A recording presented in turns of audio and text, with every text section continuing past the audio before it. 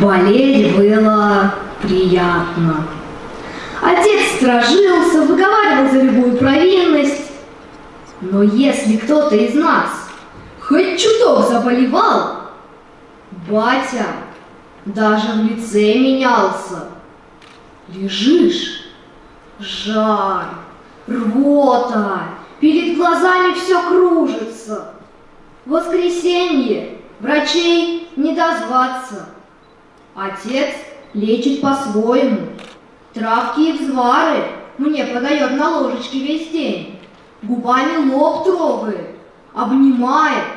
Мама рядом переживает, тряпки мокрые меняет, книжку читает вслух. К ночи становится чуть легче. Наконец-то хочется есть, только непонятно, чего именно. Не опостылевший бульон, не кашу. Молочка бы пап и, и пряников свежих с карамельной корочкой. И будет папка среди ночи делать шуру, у которой дойная корова просит чуток молока, а пряники? Те только в магазине, да время-то уже...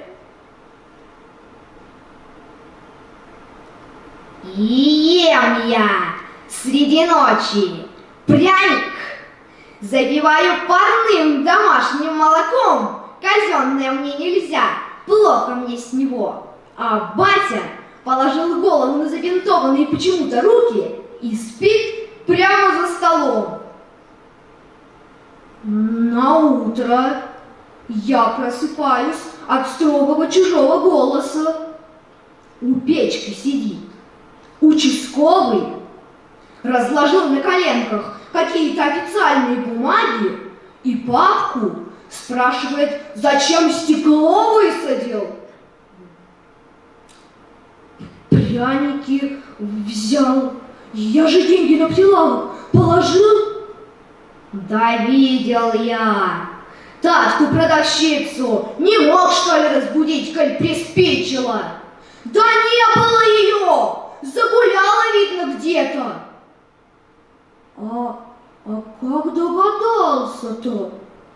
Ох, так крой же по снегу до самой твоей двери. Тоже мне Тать. Участковый смотрит на меня, видит в изголовье снятой постели, ковшики с отварами, тазик с полотенцем, пузырьки лекарств. Старший, что ли, захворал? Старший. Не ел ничего, пряников захотел. Ладно, напишу неустановленные хулиганы, а стекло Вставь! Татка верещит, грозится виновнику башку пробить. Весь магазин ей выстудил. Как ты только решетку своротил.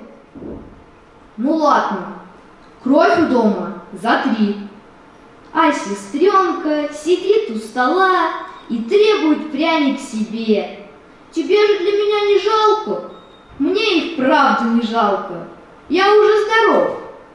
А последний пряник мы делим на всех.